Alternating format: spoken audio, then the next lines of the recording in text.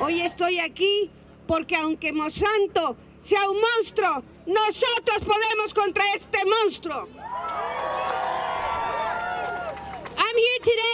Because even though Monsanto is a monster, we can take this monster down.